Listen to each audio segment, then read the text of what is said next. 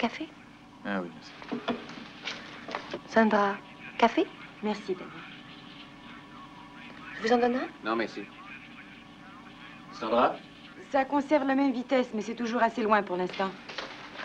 Risque-t-il de passer près de nous? Je le crains. Très près. Vous avez vu ça, Cano? Ah oui, on dirait un gros astéroïde, mais il n'est sûrement pas dangereux. C'est peut-être exact. Néanmoins, il vaut mieux interroger l'ordinateur. Mais c'est inutile, Paul, il ne peut pas entrer en collision avec nous. Je préfère en être sûr.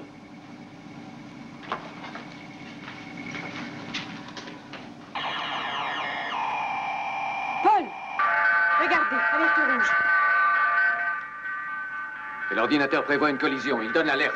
Commandant, la trajectoire de l'astéroïde vient de se modifier. C'est comme s'il avait été dévié par une force inconnue. Cano, essayez de déterminer le point d'impact exact. Quel est le problème, John? Un astéroïde. Commandant Koenig, la collision est bien confirmée. Le point d'impact est alpha. On dispose de combien de temps? Euh, seulement une minute. On n'a même pas le temps de mettre en route le dispositif de sécurité. Mais il modifie à nouveau sa course.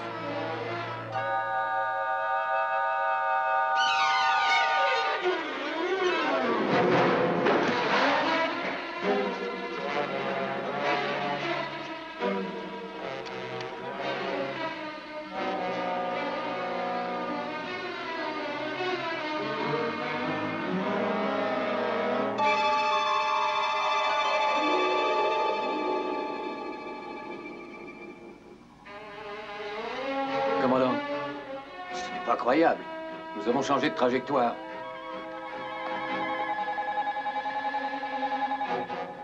Passez sur caméra tribord.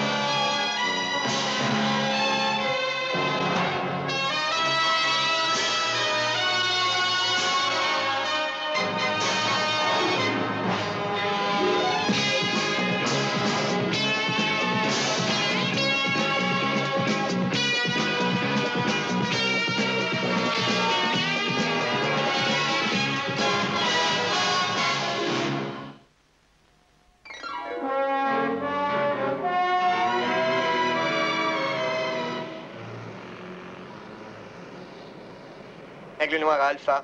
Aigle noir à Alpha. Je suis en position. Oh, c'est très curieux. Sa forme est ronde, elle est toute noire et immense. Bon sens qu'elle peut être noire. Quelle est sa position? E 22 27 029. Exactement là où on a aperçu l'astéroïde la première fois. Transmettez vos observations, Mike.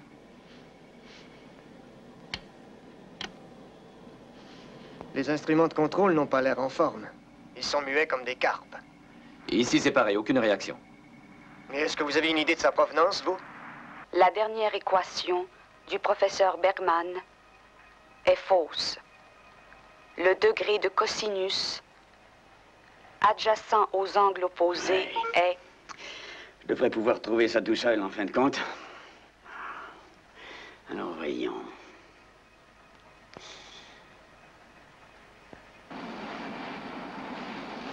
Je suis toujours en position. C'est à nous de jouer, commandant. Vos écrans anti-gravitation, à combien sont-ils réglés? Ah, j'ai encore de la marge. Ils sont à la moitié de leur puissance. Restez sur place et envoyez un coup de laser pour voir la réaction. Bonne idée.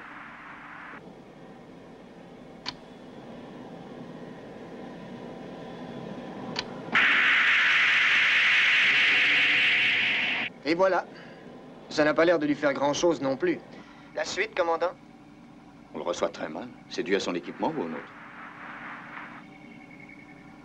Ça a l'air parfait au contrôle vidéo. Lorsque les pilotes sont entre les autres et nous, la réception est bien meilleure d'habitude. Là, j'ai donc T au carré. Voilà. Donc, Il faut aller voir ça de plus près, commandant. Je crois que c'est tout ce qui reste à faire. Pas question, Mike. Ce que je risque, c'est qu'il y ait une attraction plus forte. Mais si je règle mes écrans anti-gravitation à pleine puissance, il n'y a pas de problème. Alpha se trouve en plein dans sa trajectoire. Je pense qu'il faut aller voir de quoi il s'agit. bon, vas-y, je t'écoute. Hypothèse confirmée. Ah. Il est de votre devoir de faire part de ce danger. Oui C'est justement ce que je m'apprêtais à faire. Alpha.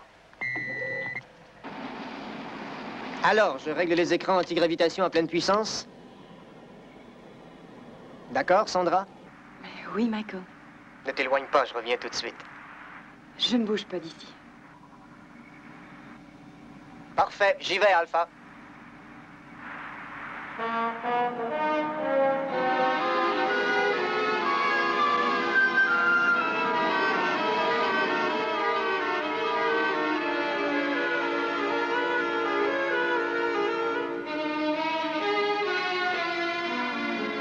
Commandant, vous avez vu le contrôle des écrans? L'aiguille est déjà sur le rouge. Confirmé, commandant. John Abandonnez, Mike. Abandonnez, m'entendez-vous? Mike, faites demi-tour. Vous allez être attiré comme un aimant. Foncez, bon sang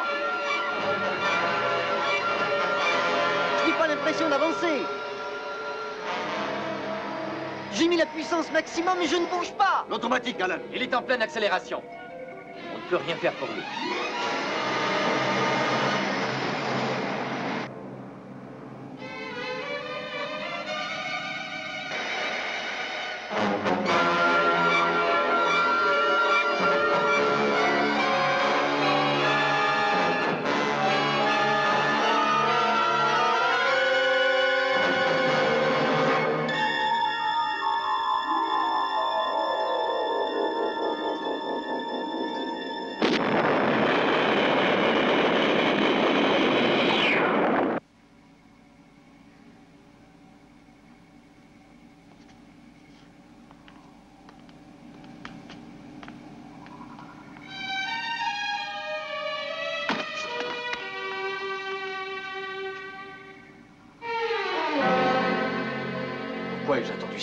Mais John, vous n'aviez aucune raison de vous douter de quoi que ce soit. Cela paraissait sans risque. Non, celui qui est à blâmer, c'est moi. Il y a plusieurs heures que je m'en doutais. C'est bien le soleil noir. Ouais. Alors, que pouvons-nous faire? Attendre la fin. Nous serons morts dans trois jours.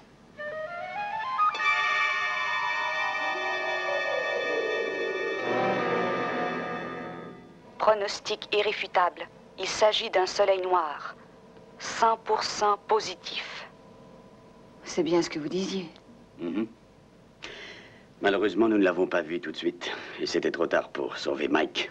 Mais vous croyez qu'on peut l'éviter? Son pouvoir d'attraction peut devenir extrêmement puissant. Une seule particule qu'il compose pourrait peser plus que plusieurs alpha réunis, mais ça ne s'arrête pas là. Sa force gravitique va en s'accentuant. Ce qui veut dire que ni la radiation, ni la chaleur, ni même les rayons lumineux ne peuvent l'arrêter. Oui, sa force est incommensurable. Même l'ordinateur n'arrive pas à la mesurer. Mais professeur, vous n'avez pas répondu à ma question. Pensez-vous qu'on puisse l'éviter?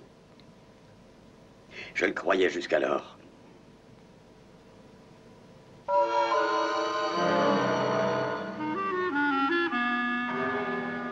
Il y a quelques minutes, Paul demandait si nous pouvions éviter la force d'attraction du soleil noir. Eh bien, la réponse est non. Toutefois, il semble probable que nous arrivions à en tirer avantage, n'est-ce pas, Victor Hmm. Je ne vous l'apprends pas, ces huit tours antigravitation jouent le rôle de stabilisateur d'attraction à l'intérieur d'Alpha. Donc, à mon avis, on pourrait les utiliser en leur donnant un champ d'action nouveau.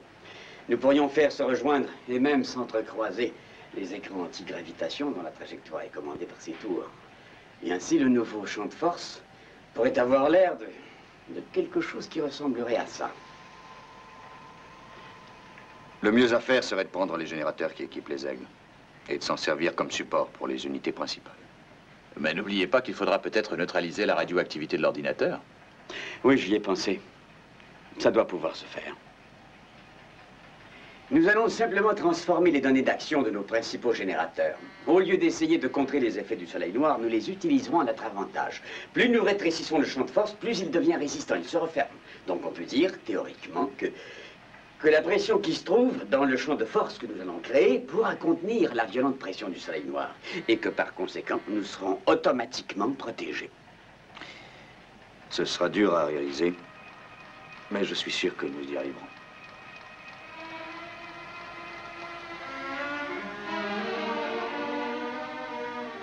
C'est très ingénieux.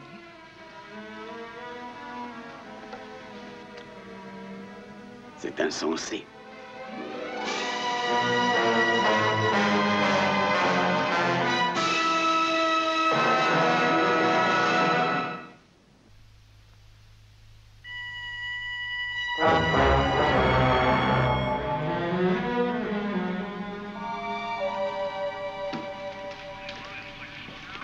Sandra, je vous avais dit d'aller vous reposer. Oui, Dr. Russell, mais on a besoin de tout le monde.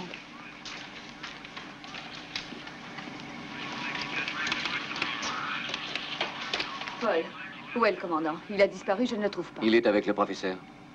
Ils sont sortis.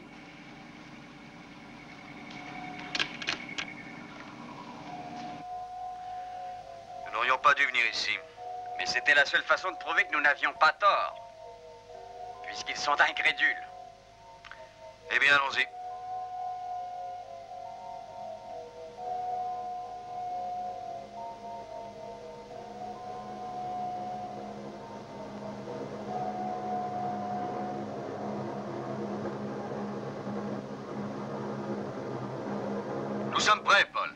J'envoie la force, commandant.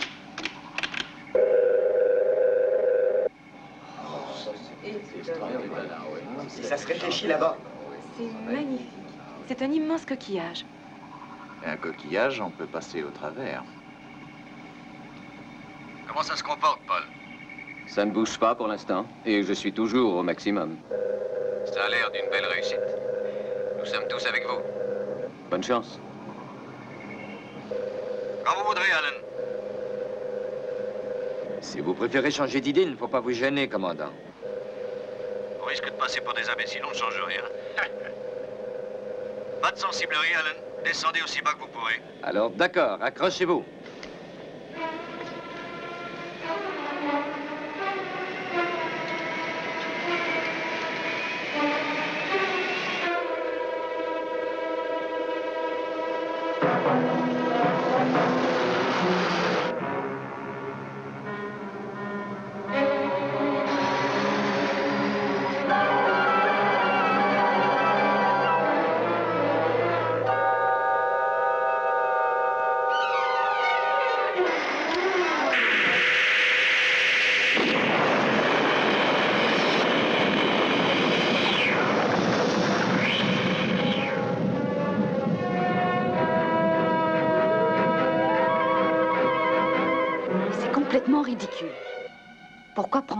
Pareil risque C'est de la folie.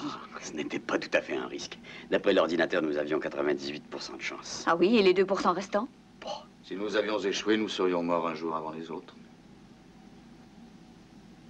Elena, on l'a fait pour le moral. Ça ne prouve rien. Les forces que renferme le soleil noir sont inconcevables. Leur pouvoir est illimité. Elles peuvent balayer notre planète demain. Elles peuvent tout désintégrer. Mais alors, expliquez-moi l'utilité du champ de force. Je dirais que c'est la même que celle qui vous empêche de tuer un malade irrécupérable, docteur. Ça n'est que ça. Bon, je me remets au travail.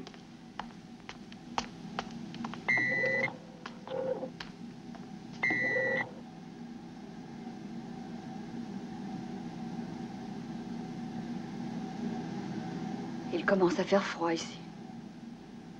Et ça n'est encore rien. Il réclamera toute notre énergie très bientôt.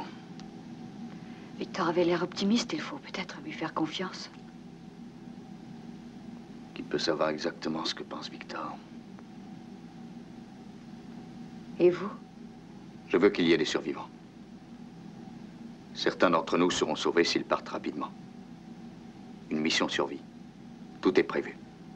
J'ai conservé un aigle intact.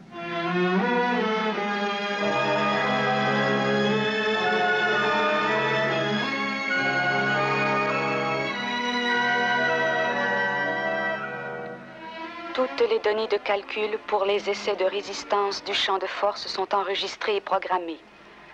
Le résultat de ces calculs n'est pas en accord avec les données antérieures. J'espère que tu prends la responsabilité de ce que tu racontes. Si c'est une question de manque d'énergie, tu n'as qu'à le dire. Ah, excusez-moi, monsieur Cano. Qu'est-ce qui se passe? Votre ami a des difficultés à nous tenir au chaud? C'est pas de sa faute, il fonctionne bien, professeur. Il risque de ne plus fonctionner du tout dans peu de temps. Mais ça, vous le savez aussi bien que moi, n'est-ce pas Tout ce que je sais, c'est que nous devons utiliser le minimum d'énergie pour le chauffage pendant vos essais, ce qui revient à avoir froid. Mais il n'y a pas que le chauffage qui doit être réduit pendant les essais. Il y a l'électricité aussi. Et tout redeviendra normal quand nous aurons fini les essais. Là, on aura chaud. C'est automatique. Même moi, je sais cela.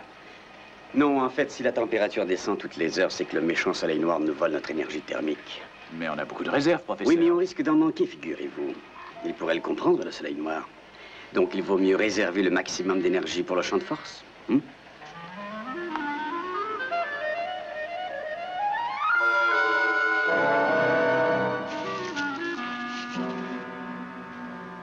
Il ne reste que 6 heures Nous n'en avions pas 12 6. David dit qu'il est impossible de déterminer avec précision le volume d'absorption du soleil noir dans ce secteur.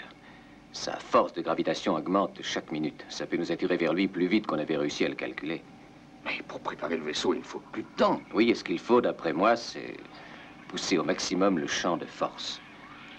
On pourrait peut-être de cette façon être prêt à temps. Au contraire, il faut conserver l'énergie, c'est d'une importance primordiale. Je crois qu'on doit choisir ou la survie ou la base.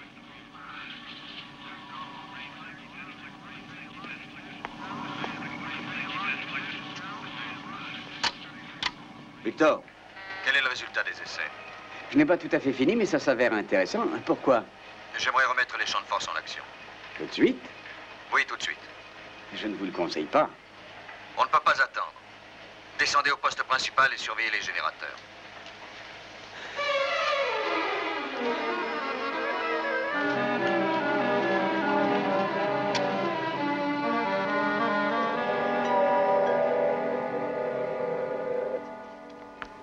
Et voilà, professeur.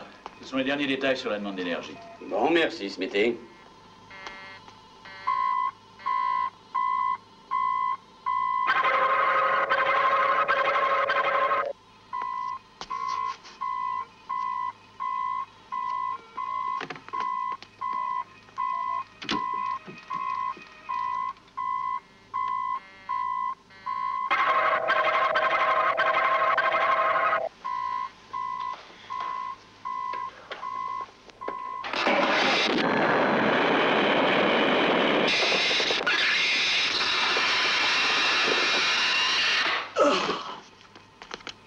J'appelle le centre médical.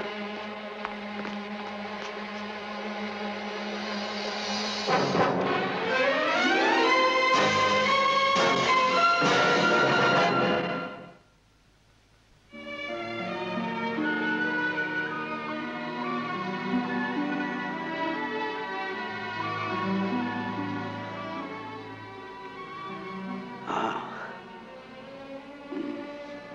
Vous vous remettrez vite. C'est plutôt grâce à votre cœur d'acier, cher professeur. Hmm.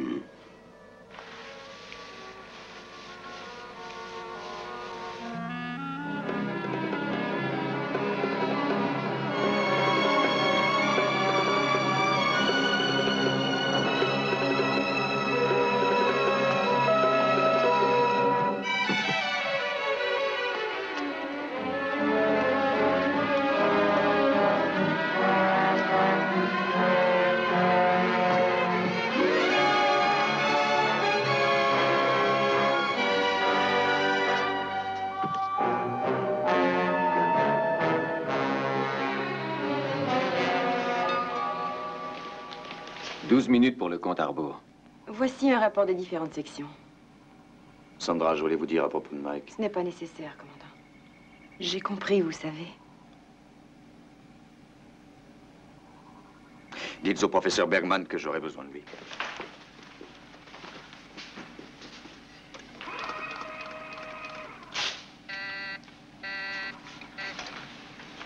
Il nous reste moins de 4 heures avant la rencontre avec le Soleil Noir.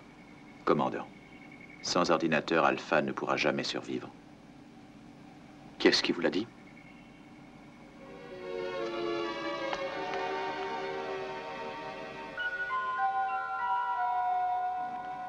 Poste central à tous les services. Poste central à tous les services. Attention, soyez prêts à l'essai du champ de force. 30 secondes.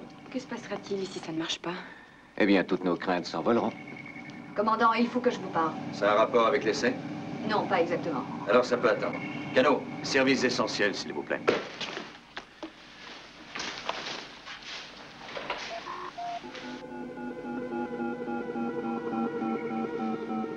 Commandant, ordinateur à rendement minimum.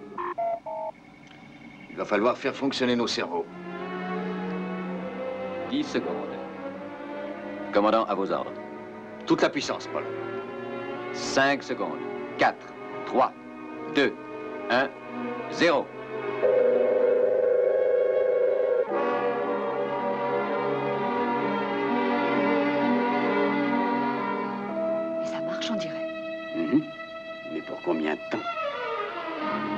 Suite des opérations, Paul. Commandant, qu'est-ce que je fais pour l'ordinateur?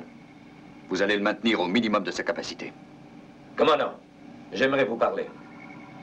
Qu'est-ce que c'est que cette histoire de mission survie Vous organisez un départ? Un départ. Oui.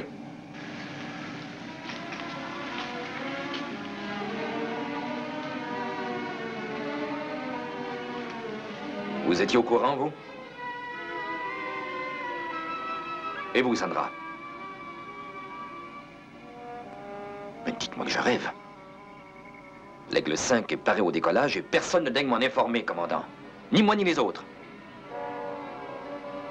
Si je dois mourir, je vais choisir la mort qui me conviendra. Je crois que c'est mon droit, non? J'étais prêt à accepter de rester ici avec toute l'équipe, ça oui. Mais sûrement pas sachant que six ou sept personnes vont quitter Alpha.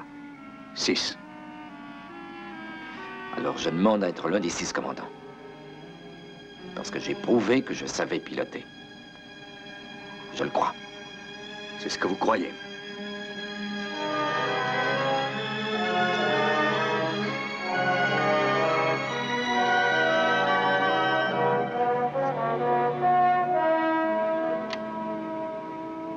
Ceci intéresse tous les secteurs alpha. Ici le commandant John Koenig. Nous avons à nouveau au-dessus de nous le champ de force du professeur Bergman, mais devant nous le soleil noir. La situation à laquelle nous devons faire face est la suivante. Le champ de force ne peut aujourd'hui nous offrir qu'un seul et maigre espoir. Celui de penser qu'Alpha pourra vivre les prochaines heures. Toutefois, quelques-uns d'entre nous vont avoir la chance d'échapper au soleil noir. J'ai en effet décidé d'équiper un aigle qui partira loin d'ici en mission survie. Le plein est fait. Les vivres sont à bord. Il emmêlera six personnes. Trois hommes et trois femmes. Je pense que cette tentative de survie est indispensable, même si elle peut sembler chimérique. L'heure de départ est fixée à 8 heures, c'est-à-dire dans 43 minutes. J'ai consulté l'ordinateur central afin de sélectionner le groupe de personnes le plus apte à assurer la survivance de la race humaine dans l'espace. Voici les noms de ces six personnes. Pour les hommes. L'astronaute Alan Carter. L'ingénieur spatial George Oswood. Le contrôleur de communication Toshira Fujita. Pour les femmes. Le docteur Elena Russell. L'analyste des données Sandra Benes. Et le professeur Angela Robinson.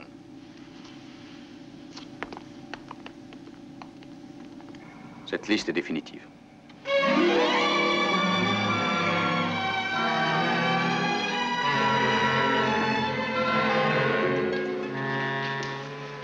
Vous saviez qu'il refuserait d'y aller.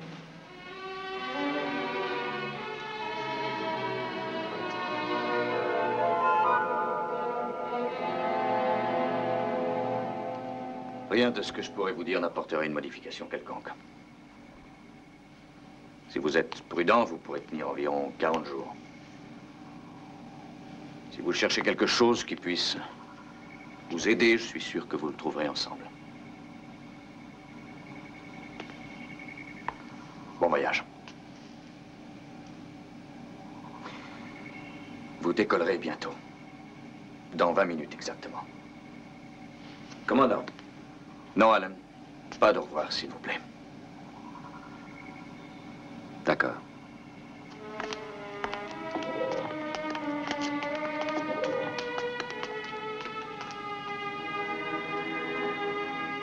John.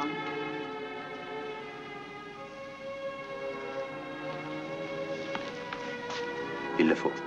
Non, pourquoi moi? Le docteur Mathias peut me remplacer. Je regrette, c'est impossible. La liste est définitive. Le temps n'est plus au noble geste. Ce n'est pas un geste noble. Je voulais... John, si ma vie s'achève sur Alpha ou bien quelque part dans l'espace, quelle différence cela peut faire? Cela fait une différence. Pour moi.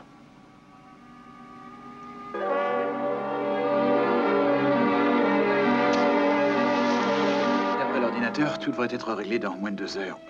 Remplacez-moi, David. Je reviens tout de suite. Tenez. Oh, merci.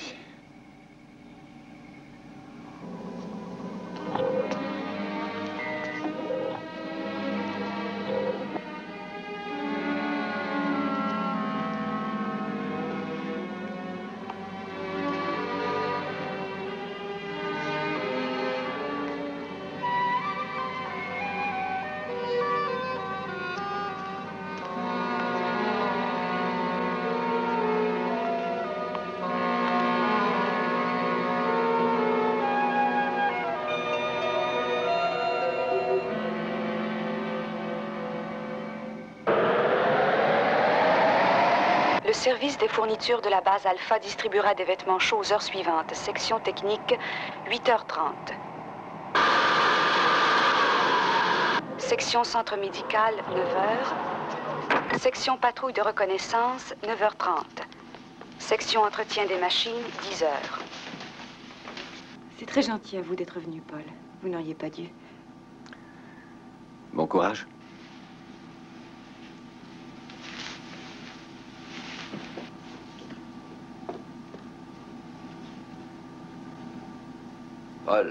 On essaiera de vous envoyer une carte postale.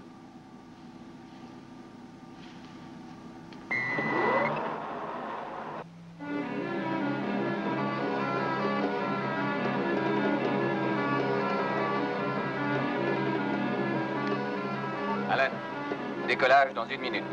Parfait.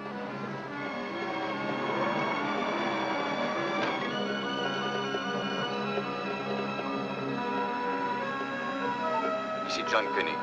Je n'aime pas les effusions du départ, mais je vous souhaite à tous bonne chance. 15 secondes. Alan, bonne chance. À vous aussi. À vous tous.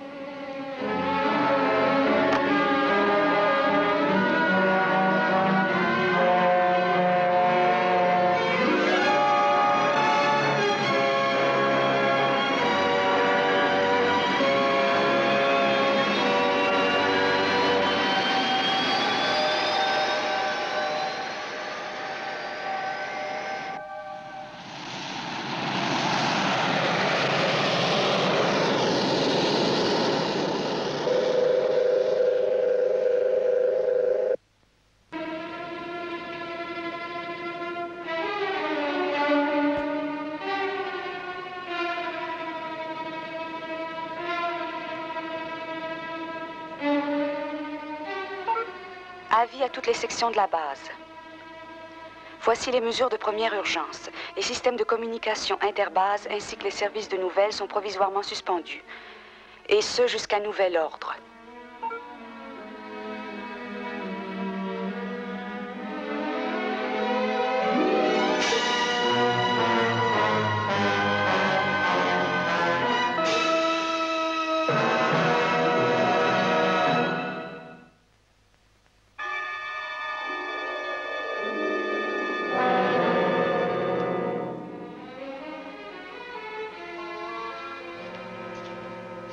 Vous êtes là. Je vous cherchais. Mettez donc ça. Vous pourriez mourir de froid. Très amusant. C'est bien ce qu'on croyait. hein. Oui, John. Je viens d'achever quelques petites opérations savantes qui ne portaient pas, comme vous pourriez le croire, sur l'énergie spatiale. Non, c'est inspiré de quelque chose qu'on ne trouve pas dans les bouquins.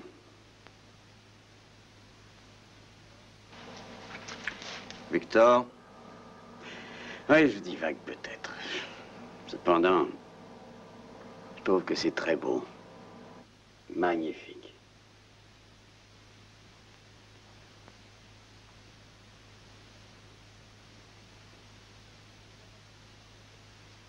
Nous avons survécu, mais comment y sommes-nous arrivés Comprenez-moi, pour les calculs de probabilité, on peut se fier à l'ordinateur en général. Je lui ai donc demandé s'il pouvait dire combien de temps il nous restait à vivre. Eh bien, il a répondu une période infinie. trouvez donc autre chose, Victor, si vous voulez me consoler.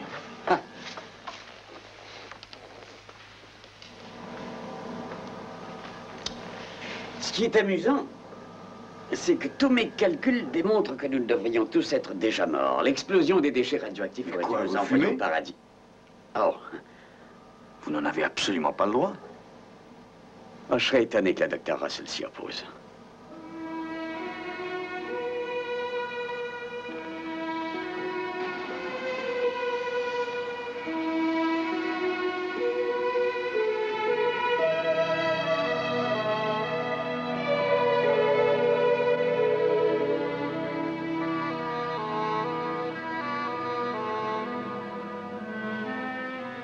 Comment vous sentez-vous?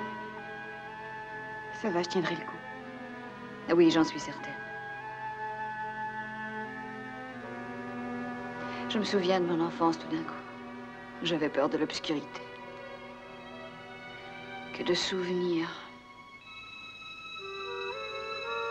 J'avais peur des médecins, je vous avouerai.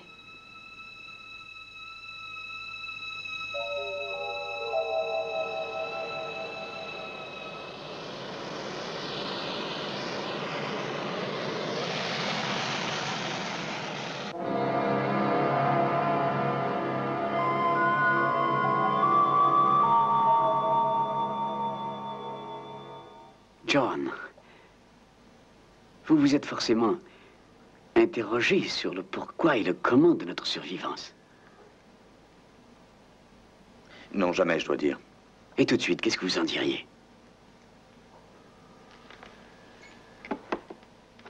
Vous vous référez à quelque chose? À Dieu? Non, je n'en sais rien, je dois le reconnaître. Je, je ne connais pas grand-chose de Dieu. Je croirais plus en la science, mais la perception cosmique est sûrement la cause directe de mes réflexions présentes. Et qui interviendrait au bon moment? Et c'est possible.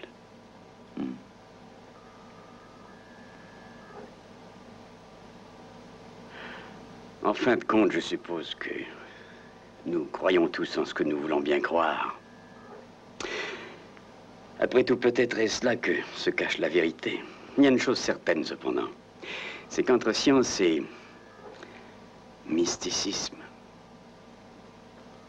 il y a un fossé. Hmm. C'est ce qui me donne de plus en plus l'impression d'être vieux.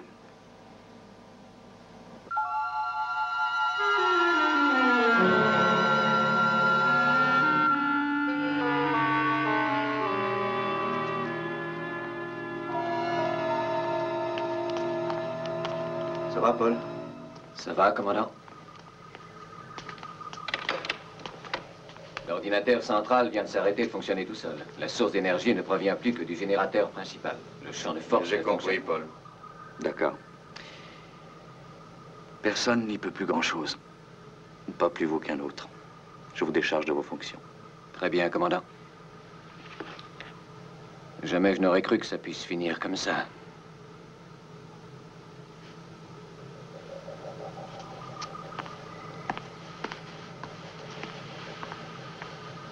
Un type bien, ce Paul.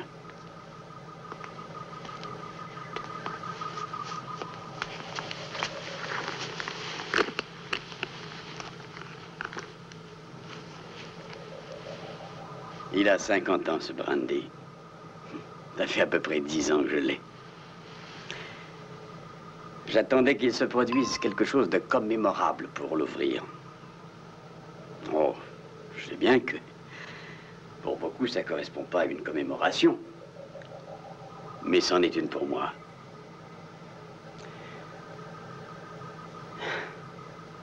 S'il ne s'est jamais présenté une occasion, c'est celle-là.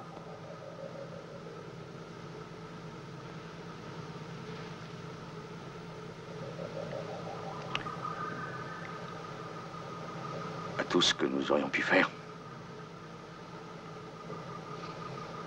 À tout ce que nous avons fait.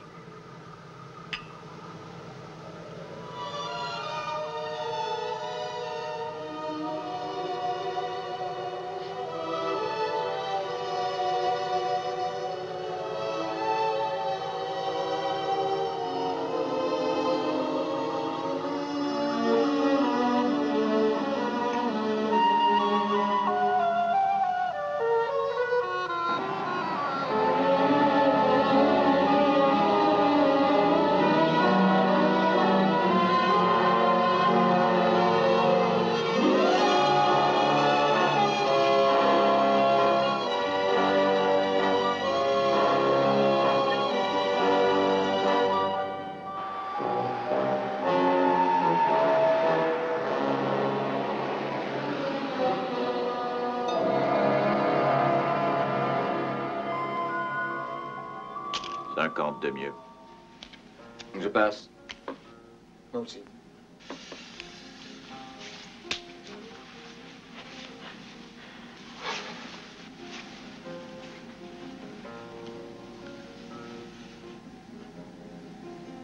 J'ajoute 50 ce midi. C'est bon, fais voir.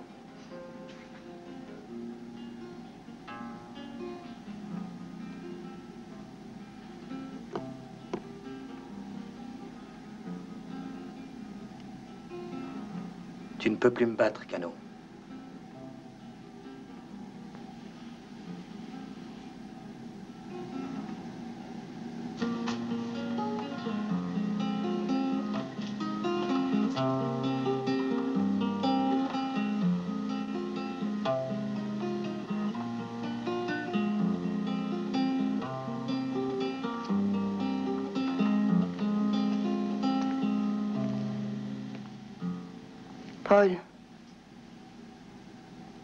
J'ai envie d'écouter de la musique à côté de vous.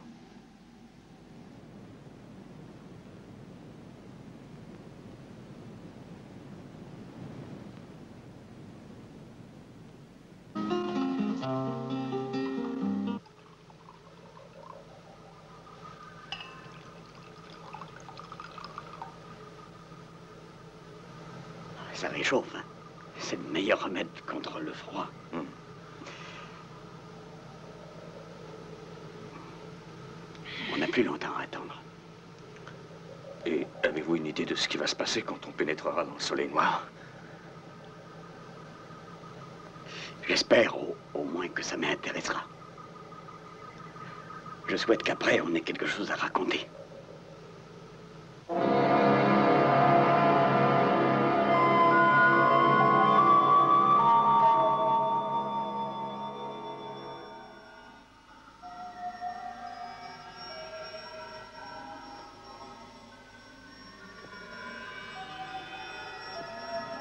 Ça a l'air intéressant.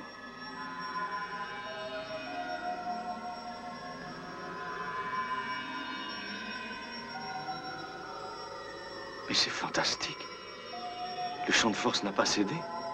Mais oui, c'est vrai.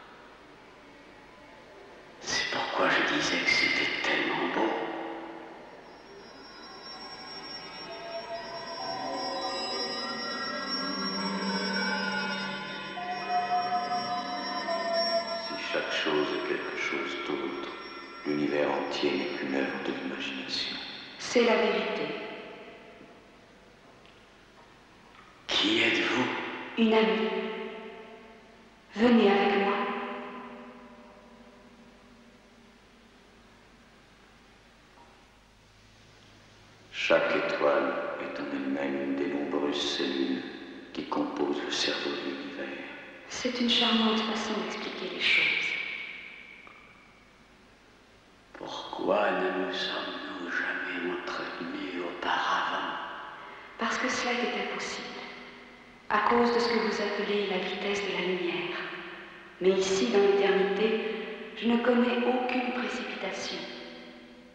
J'ai une pensée chaque fois que vous comptez un siècle de votre temps environ. N'ayant jamais été là, vous ne pouviez le savoir. Êtes-vous Dieu? J'ai été très heureuse de vous rencontrer. Attendez.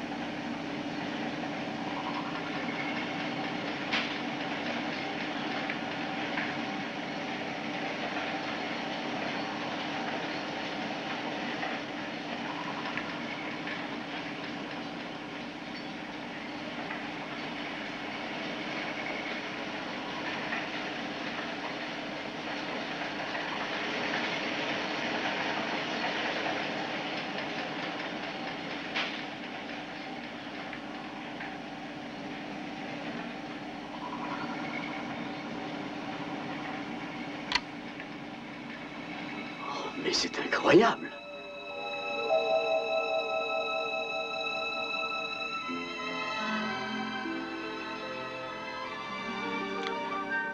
On est passé au travers. Oui, le champ de force a tenu, Victor. Je trouve ça sublime. Nous sommes passés en quelques heures de l'autre côté de l'univers. Votre champ de force a tenu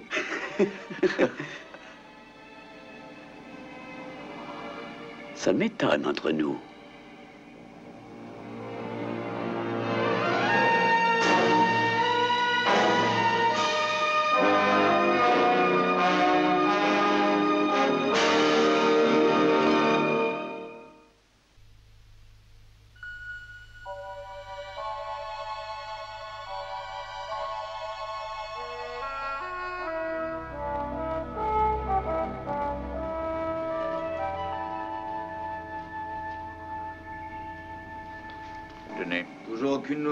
Vaisseau.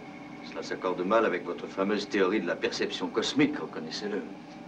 À vrai dire, je savais que c'était impossible.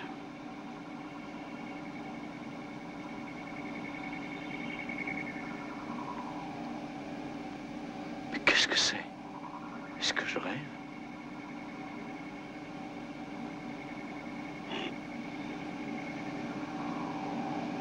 Vous ne rêvez pas.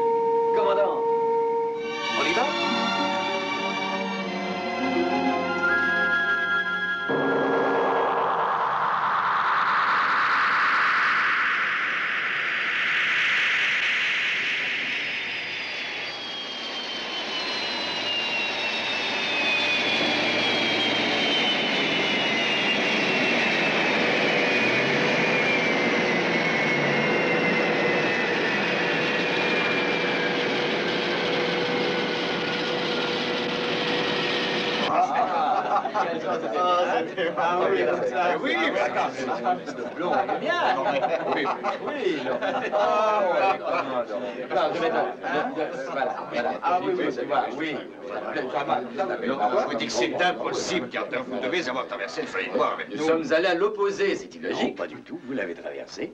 Mais On non. est carrément passé à travers. J'avoue que c'était fantastique. Mais si vous ne nous avez pas suivis, comment avez-vous retrouvé Alpha? À des millions d'années-lumière. Mhm. De l'autre côté de l'univers. Je suis un astronaute, professeur. Pas un philosophe. Nous sommes allés par-delà l'inconnu. C'est quelque chose d'inconnu qui nous a ramenés chez nous. Oui, chez nous.